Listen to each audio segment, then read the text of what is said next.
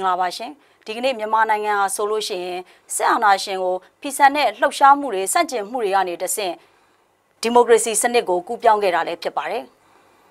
အဲ့ဒီထဲကမှ88ဒီမိုကရေစီအရေးတော်ပုံမှာရန်ကုန်တက္ကသိုလ်မှာတတိယနှစ်ကျောင်းသားအဖြစ်နဲ့ပါဝင်ဦးဆောင်ခဲ့ဘူးသူ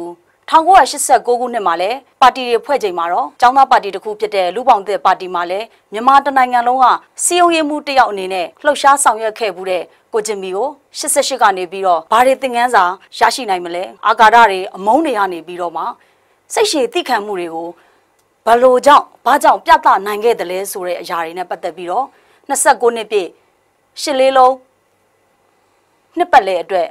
ရည်ရွယ်ပြီးတော့ တွေ့ဆုံမေးမြန်းသွားဖို့ဖိတ်ခေါ်ထားပါတယ်ရှင်ကိုချင်းမီမင်္ဂလာပါရှင်မင်္ဂလာပါဟုတ်ကဲ့ပထမဦးဆုံးကျွန်မအဲမေးချင်တဲ့မေးခွန်းကကြတော့အခု88ကရှစ်လေးလုံးနှစ်ပတ်လေးက29နှစ်ပြည့်ပြီဟုတ်ကဲ့အဲ့ဒီရဲ့အစာကြတော့မဆလာကိုအပြုတ်တိုက်ခဲ့တယ်ဟုတ်ကဲ့လူလူအလွှာအသီးသီးကပါဝင်ခဲ့တယ်ဒါမဆလာကိုအပြုတ်တိုက်ခဲ့တဲ့တိုက်ပွဲလို့လည်းပြောလို့ရတယ်ပေါ့နော်တမိုင်းဝင် နှစ်လည်းဖြစ်တယ်အဲ့ဒီထဲမှာမှအလွှာတစ်ခုဖြစ်တယ်ចောင်းသားအလွှာမှာအကိုကចောင်းသားကောင်းဆောင်တယောက်အနေနဲ့လည်းပါဝင်ခဲ့ဘူးတယ်ပေါ့နော်အဲ့တော့88မှာကိုဖုံးမော်ကြာဆုံးသွားတယ်မတ်လ73ရက်ပြီးနောက်ပိုင်းမှာမတ်လ16ရက်တရားနေရေးခင်းရစာပြီးကိုချင်းမီဆိုတာစဖြစ်လာတယ်ပေါ့အဲ့ကာလာတော့ကအသက်16နှစ်အရွယ်မှာအကိုရဲ့စစ်အာဏာရှင်ပေါ်မှာထားတဲ့သဘောထားအကိုရဲ့တုံ့ပြန်မှုအပြုတ်မှုလေးတွေကိုလည်းအကိုပြန်ပြောပြပေးပါဦး အမှန်တိုင်းပြောရင်တော့ကျွန်တော်ကအဲ့တော့တာမန်ចောင်းသားတယောက်ပဲဗျာတာမန်ចောင်းသားတယောက်ဆိုဒီလို နိုင်ငံရေးလုပ်ရမယ်ဆိုတော့လည်းကျွန်တော်ဟိုမမျှော်လင့်ထားပါဘူးမျှော်လင့်ထားပဲနဲ့ကျွန်တော်တို့ဖြစ်စဉ်ကတော့ဒါကတော့ရိုးပါတယ်ဗျာဟိုဒီចောင်းသားတွေကို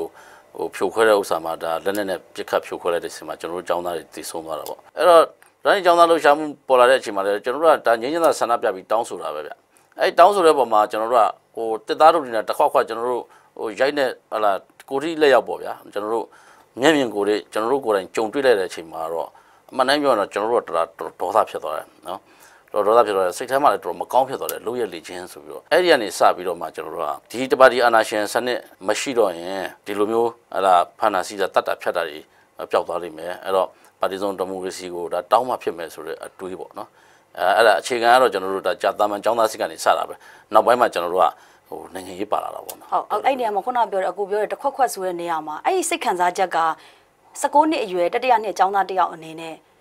ဥမာဘလို့အာဃာတတွေလဲဘလို့ဘလို့မျိုးလက်စားချေလို့မှုတွေလားဒါမှမဟုတ်ရင်အဲ့ဒီအချိန်မှာရောအကိုအနေနဲ့အဲသူတို့အပေါ်မှာငင်းငင်းတဲ့အနေနဲ့ပဲသွားမလားဆိုတဲ့အတွေးတွေမှာဘလို့မျိုးရှိခဲ့လဲဆရာနာရှင်ပေါ်မှာ မနိုင်ပြောရင်ကျွန်တော်တို့ကြည့်ပြရတဲ့စာပေတွေရှိတယ်ဗျာကျွန်တော်တို့ကဟိုကိုလိုနီနှစ်ချက်ဆန့်ကျင်စာပေတွေနောက်ပြီးတော့ကျွန်တော်တို့လူရင်းသားလွတ်မြောက်ရေးစာပေတွေနဲ့ကျွန်တော်ကြည့်ရတာပေါ့နော်ဒါကကျွန်တော်နိုင်ငံရေးအယူဆလည်းဒါစာကိုဖတ်တဲ့လေ့လာတဲ့စာပေမှာဟိုအခြေခံပါတယ်အဲ့တော့ကိုယ်တိုင်ကိုကြအဲ့ဒီမှာဟိုဒီចောင်းသားတွေကိုရဲစစ်စစ်ဖြိုခွင်းတဲ့ဟာတွေ့လိုက်တဲ့ခါကျတော့ဟိုရာဘာတို့မဟုတ်တော့တစ်သားတို့နဲ့ချတာနော်အဲ့ဒါထိတာနဲ့ကွဲတာပဲအဲ့တော့အဲ့ဒီမှာကျွန်တော်တို့တော်တော်စိတ်ထဲမှာတော်တော်ခုနကကျွန်တော်အိတ်မပျော်တဲ့ညတွေရှိတယ်ကျွန်တော်လမ်းနဲ့ချီပြီးအိတ်မပျော်ဘူးမျက်လုံးထဲမှာကျွန်တော်မြင်နေတယ်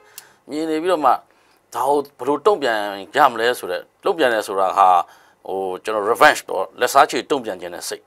အဲ့ဒီစိတ်နဲ့ကျွန်တော်အဲ့ဒီလာနဲ့ချီပြီးအိမ်မပြောတာရှိတယ်နော်အဲ့ဒီအတွက်အဲ့ဒီတွန်းအားကဘာဖြစ်လဲဆိုတဲ့ခါကျတော့ခုနလိုဟာလာကျွန်တော်တို့ match လာပြီးတော့ဒီ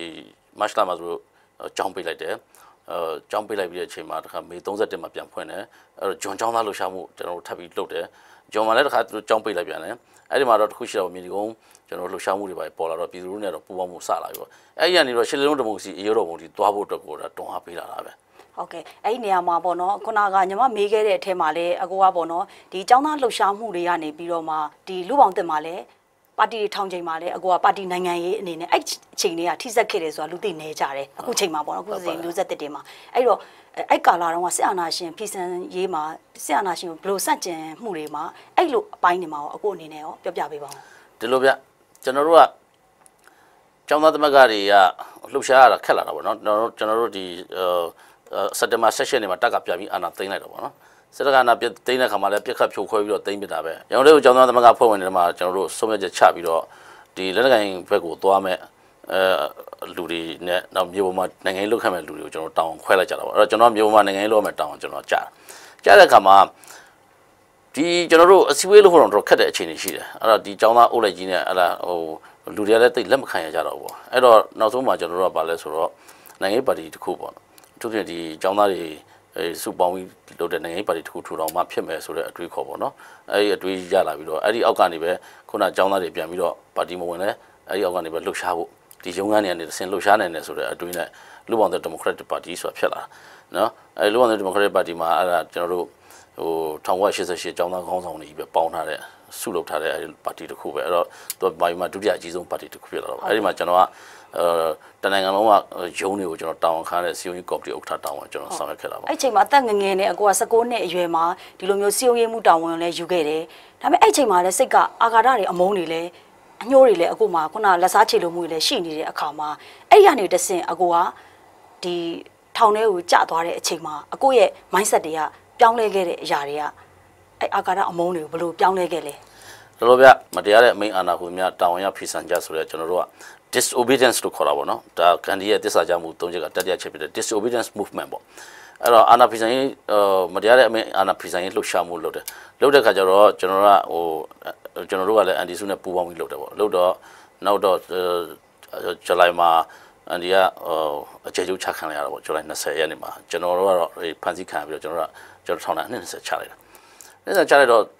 ပြန်စဉ်းစားခြင်းဟိုကျွန်တော်တို့ကတာမန်ចောင်းသားတပွားဗရုပ်ကြတဲ့ចောင်းသားပျော်ပျော်နေတဲ့ចောင်းသားအဲ့ဒီကနေပြီးတော့ကျွန်တော်တို့ကရုပ်တဲ့ဟလာတမိုင်းကပေးတဲ့တောင်းနေကျွန်တော်တို့ထမ်းဆောင်လိုက်ရတယ်ထမ်းဆောင်တဲ့အချိန်မှာလည်းကျွန်တော်တို့ကတွေးလိုက်ရတဲ့ဟာတွေကကျွန်တော်တို့ခါးသီးတဲ့အတွေ့အကြုံတွေပဲဟိုကျုံတော့ပြုံးတက်လာပြီပေါ့အေးပေါ်လေးလှုပ်ထားအောင်ပေါ့ကွာဆိုတဲ့အတွေ့အကြုံတွေပေါ့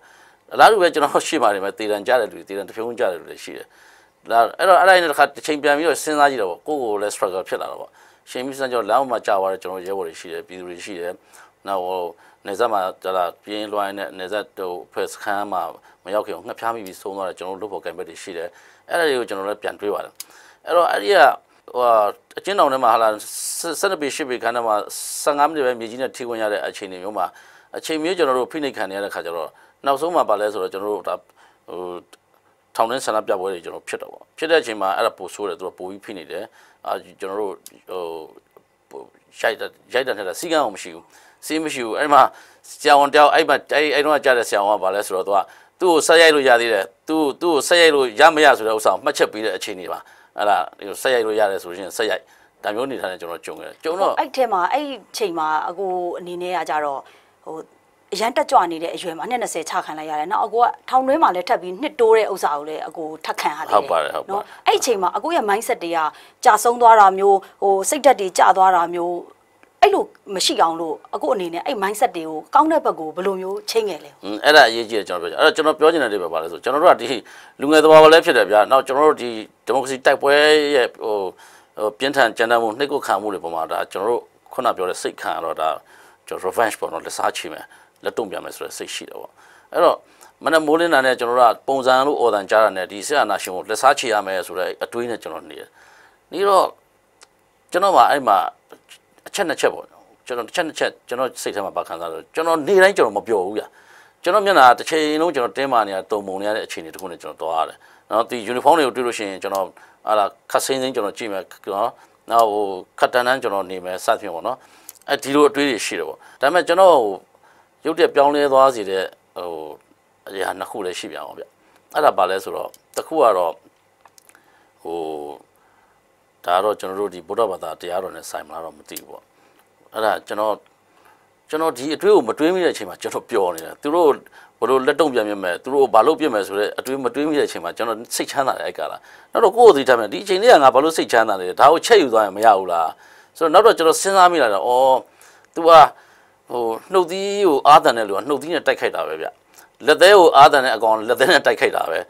တော့အဆွဲအာသန်တဲ့ကောင်အဆွဲကိုတိုက်ခိုက်တာပဲအဲ့တော့ငါ့ကိုဒီလိုတိုက်ခိုက်ရကောင်းလားဆိုပြီးတော့ကိုကလည်းသူ့ကိုပြန်ပြီးတိုက်ခိုက်မယ်ဆိုကိုလည်းနှုတ်သီးရှိတဲ့ကောင်လက်သေးရှိတဲ့ကောင်အဆွဲရှိတဲ့ကောင်ဖြစ်သွားမှာပေါ့အဲ့တော့ကျွန်တော်ကအဲ့ဒါတွေကျွန်တော်ကျွန်တော်တို့ကနှလုံးသားရှိတဲ့လူတွေလေအဲ့တော့ကျွန်တော်တို့ကနှလုံးသားနဲ့ပဲတုံ့ပြန်ရမယ်ဆိုတော့အတွေးဝင်လာတယ်ဝင်ဆရာလာတယ်နာရှင်ရဲ့အမှုကျင့်ကိုလိုက်မလုပ်ဘူးလိုက်မလုပ်နိုင်ဘူးလိုက်မလုပ်ဘဲနဲ့အကိုရဲ့ mindset ကိုအကိုချိန်ဟုတ်ခဲ့တယ်တယ်အဲ့ဒီကနေမှတဆင့်ပေါ့နော်ဒီအမျိုးသားပြန်လဲတင့်မြတ်ရေးအခုလိုအချိန်နေမှာ ဒီမျိုးဆက်တစ်တွေကြားထဲမှာလည်းအခုချိန်မှာအထီကိုပေါ့နော်ဟိုဆက်ပြီးတော့တိုက်ပွဲဝင်ရမယ်ဆိုတော့တိုက်ပွဲအတွေးခေါ်တွေဖြစ်နေတယ်အဲ့တော့အဲ့ဒီလိုနေရာမှာအကိုရဲ့ဒီလိုမျိုးဒီအသက်အရွယ်ရောက်လာတဲ့အချိန်မှာအမျိုးသားပြန်လဲတင့်မြတ်ရေးလမ်းကြောင်းပေါ်ရောက်လာတယ်ဆိုတဲ့အတွေးအပေါ်မှာကြတော့အခုမျိုးဆက်တစ်တွေကိုကြတော့အကိုဘာပြောချင်လဲဒီလိုဗျကျွန်တော်ကခုနပြောတဲ့ဥစ္စာကိုကျွန်တော်မပြီးသေးတာပထမတစ်ချက်ကကျွန်တော်ဒါပုံကိုယ်ကြီးကျွန်တော်ရဲ့ဘာသာတရားပေါ်အခြေခံပြီးပြောင်းလဲလာတဲ့စိတ်တော့နောက်တစ်ခုကကျွန်တော် ကျွန်တော်ရဲ့ hypothesis ကျွန်တော်ရဲ့အတွေးခေါ်ပေါ့ဒါကျွန်တော်စာတမ်းတစ်ခုကျွန်တော်ရေးထားပါတယ်ကျွန်တော်အင်္ဂလိပ်လိုပြန်ပြီးမကြခင်မှာကျွန်တော်ဒီစာတမ်းကိုတင်ဖို့ကျွန်တော်စူးစမ်းနေတာထောင်ထဲမှာကျွန်တော်ရခဲ့တဲ့အတွေ့အကြုံပေါ့အဲ့တော့ကျွန်တော်တို့ကဖြတ်ကျွန်တော်တို့မြန်မာနိုင်ငံဟာကမ္ဘာလုံးဆိုင်ရာလှုပ်ရှားမှုကြီး၃ခုလုံးမှာကျွန်တော်တို့ပါရတယ်ပထမလှုပ်ရှားမှုကဒါ19ရာစုနောက်ပိုင်းပေါ့ပထမလှုပ်ရှားမှုကဒါအမျိုးသားလွတ်မြောက်ရေးလှုပ်ရှားမှုပေါ့နော်ကျွန်တော်တို့ကအင်္ဂလိပ်ကိုလည်းချရတယ်ဂျပန်ကိုလည်းချရတယ်နော်အလားတူပဲအာဖရိကလက်တင်အမေရိကတကမ္ဘာလုံးမှာဖြစ်တာနောက်တစ်ခုကဘာလဲဆိုတော့ဒုတိယတစ်ခုကဒါလူဒန်းစားလွတ်မြောက်ရေးလှုပ်ရှားမှုပေါ့နော် ဒါဒါကတော့ကျွန်တော်တို့ဒါ communist movement ပေါ့နော် communist လှုပ်ရှားမှုပေါ့နောက်တတိယကြတော့ခါကျတော့ကျွန်တော်ဒီမိုကရေစီနဲ့လူခွင့်ရေးလှုပ်ရှားမှုယနေ့လှုပ်ရှားမှုပေါ့အဲ့တော့အဲ့ဒါကိုကျွန်တော်ပြန်ပြီးချိန်ထိုးတဲ့အခါမှာကျွန်တော်တို့ကပထမလှုပ်ရှားမှုနှစ်ခုနဲ့ယဉ်နီးခဲ့တာဒီမိုကရေစီနဲ့လူခွင့်ရေးလှုပ်ရှားမှုအခုမှစပြီးထိတွေ့ကြရတာအဲ့တော့ကျွန်တော်တို့ mindset ကဘာလဲဆိုတဲ့ခါကျတော့ပထမနှစ်ခုနဲ့ mindset သွားဖြစ်တယ်အလားတူပဲလူဒန်းစားလွတ်မြောက်ရေးလှုပ်ရှားမှုဆိုတာအရင်ရှင်တနရှင်တွေဂုံသွေးစုံတဲ့လူတွေအပြတ်ရှင်းလိုက်နော်ပစ္စည်းမဲ့အာဏာရရင်ပြီးတယ်ဆိုတော့အပြတ်ရှင်းတဲ့အပြတ်ရှင်းတဲ့ဘက်ကိုသွားလို့ရတယ်အဲ့တော့ negotiation မလုပ်ဘူး negotiation မလုပ်ဒီမိုကရေစီကြတော့အဲ့လိုမဟုတ်ဘူးဗျာကျွန်တော်တို့ကပြိုင်ဘက်ကိုရှင်သန်ခွင့်ပေးရတဲ့လှုပ်ရှားမှုဖြစ်သွားတယ်ဒုတိယတစ်ခုနောက်ဆုံးတစ်ခုကြတဲ့ခါကျတော့ပြိုင်ဘက်ကိုရှင်သန်ခွင့်ပေးရမယ်ဆိုတော့အာကာဒအမုန်းတရားနဲ့သွားပြီးတွန်းတင်လို့မရဘူး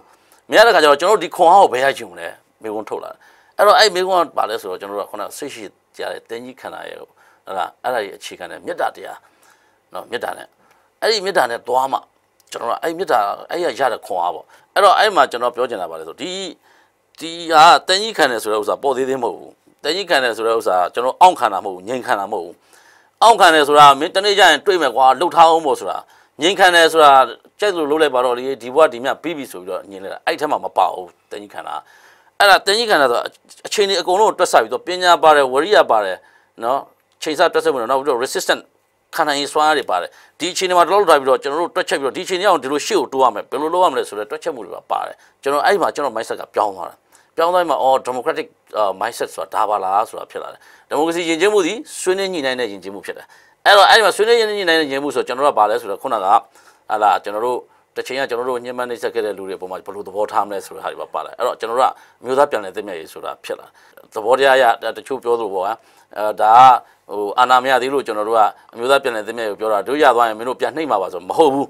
မဟုတ်ဘူး အဲ့တော့မျိုးသားပြန်လည်သိမြတ်ရေးဆိုတော့တစ်လျှောက်လုံးလုပ်နေရမှာကျွန်တော်တို့ကဒါပေမဲ့အကိုတချို့ကကြတော့ဒီဟိုဘောနော်ဒီ forgive တို့ forget ဆိုတဲ့အရာတွေအားခွင့်လွှတ်ဖို့လည်းမလိုဘူးမေးပြဖို့လည်းမလိုဘူးဆိုတဲ့အရာတွေမှာကြတော့တစ်ဖက်ကအဲ့လိုနာကျင်မှုတွေရှိနေတော့မယ်စစ်ဆိုးရဘက်မှာကြတော့လေအာနောက်ကျောင်းပြန်တာမကောင်းဘူးနောက်ကျောင်းပြန်တိုင်းမကောင်းဘူးဆိုတော့သူတို့ရဲ့စိတ်လေအဲ့လိုမျိုးစိတ်တွေမှာလည်း ပြသနေတာတွေရှိတယ်အဲ့တော့ national reconciliation နဲ့ဒီလိုမျိုး true မှာအဲ့အမှန်တရားဥစ္စာအပေါ်မှာကြတော့အခုဘာပြောချင်လဲအဲ့ဒါကတော့ကျွန်တော်တို့ကဒီကာလကဘာခေါ်မလဲဆိုတော့ကျွန်တော်တို့ကဟိုအသွင်ကူးပြောင်းရေးကာလတစ်ခုလို့ကျွန်တော်တို့ကပြောလို့ရမယ်အထူးဖြင့်ကျွန်တော်တို့ကဒီဟိုပေါ့အသွင်ကူးပြောင်းရေးဆိုင်ရာတရားမျှတမှုကိုတော့ကျွန်တော်တို့ပိုင်ဆိုင်ခွင့်ရှိတယ်အဲ့တော့တကယ်ဖြစ်ဖြစ်တဲ့သမိုင်းတွေကတကယ်ဖြစ်ဖြစ်တဲ့သမိုင်းတွေဒါကိုလည်းလက်ခံရမယ်အမှန်တရားပဲဒါဒါပေမဲ့တစ်ဖက်မှာလည်းအဲ့ဒီဟာကျွန်တော်တို့ကအမျိုးသားပြန်လည်သင့်မြတ်ရေးကိုကျွန်တော်တို့အားကောင်းစေဖို့အတွက်ကျွန်တော်တို့ဖြစ်စေရမယ် အဲ့တော့ truth and reconciliation ဆိုတာပေါ်လာတယ်ကျွန်တော်တို့ဒီနေ့သွားနေတဲ့လှုပ်ရှားမှုပုံစံဒီအမှန်တရားကိုလည်းဖော်ထုတ်အောင်ဖြစ်သလိုအမျိုးသားပြန်လည်သင့်မြတ်ရေးကိုလည်းတိဆောက်ရမယ်ဆိုတော့အဲ့ဂျားရဲ့ position အဲ့ထက်ကအဲ့ဘောင်တွေကထွက်မသွားတဲ့ဟာလာကျွန်တော်တို့ ဟိုဆွေးနွေးညီနိုင်မှုတွေထိတွေ့ဆက်ဆံမှုတွေအဲ့ဒါတွေကျွန်တော်တို့လုပ်ရမယ်ဒါအချင်းနေအခြေအနေပဲဟုတ်ကဲ့အခုကျေးဇူးအများကြီးတင်တယ်အခုနောက်ဆုံးအနေနဲ့တခုမေးချင်တာကအခုလက်ရှိအခြေအနေမှာဟိုအရင်တော့ကလည်းအခုပါတီလမ်းကြောင်းပေါ်မှာရက်ခဲ့ဘူးတဲ့သူပေါ့နော်ထိတွေ့ဘူးတဲ့သူအခုချိန်မှာဆိုလို့ရှိရင်ရောဟိုအကိုတို့88မှာဆိုလဲပါတီတွေဖွဲ့နေကြပြီနောက်အကိုကိုယ်တိုင်ရောဒီပါတီဖွဲ့မဲ့အထက်မှာအကိုတို့ပါဝင်မလားဒါမှမဟုတ်ရင်ဒေါန်ဆန်းစုကြည် NLD ပါတီကိုထောက်ခံမလားအကိုကိုယ်တိုင်ရော NLD ပါတီထဲဝင်ဖို့ရှိမရှိကျွန်တော်ကတော့ဟို ဟိုခဏခဏပြောပြပါပြီကျွန်တော်တို့88မျိုးဆက်ကျွန်တော်ငင်းချိုင်းနဲ့ပွင့်လင်းလူဖွဲ့စည်းဆိုတာသူ့ရဲ့လုပ်ငန်းတာဝန်တွေပမာဏများပါတယ်အဲ့တော့ကျွန်တော်ဒီငင်းပွင့်မှာပဲကျွန်တော်ဆက်ရှိပါမယ်ဒါကတော့ဒီမိုကရေစီနဲ့လူ့အခွင့်အရေးကိုမျက်နှိုးတဲ့သူတိုင်းဟာကိုယ့်ရဲ့ပြိုင်ဘက်တွေကိုမှန်မှန်ကန်ကန်နဲ့ရှင်သန်ခွင့်ပေးရမယ်ဆိုတဲ့အချက်နဲ့နောက်တစ်ချက်ကကြတော့အမျိုးသားပြန်လည်တင့်မြတ်ရေးနဲ့အတူအမှန်တရားတွေကိုလည်းမှန်မှန်ကန်ကန်ဖော်ထုတ်နိုင်တယ်ဆိုတဲ့အချက်ကိုကိုချမီကနေပြီးတော့သူ့ရဲ့သဘောတရားကို တွေ့ဆုံမေးမြန်းခွင့်ရခဲ့တာလည်းဖြစ်ပါတယ်ဒါကတော့29နှစ်ပြည့်ရှစ်လေးလုံးနှစ်ပတ်လည်အတွက်ရည်ရွယ်ပြီးတော့တွေ့ဆုံမေးမြန်းခဲ့တာလည်းဖြစ်ပါတယ်ရှင်အားလုံးကိုကျေးဇူးတင်ပါတယ်ရှင်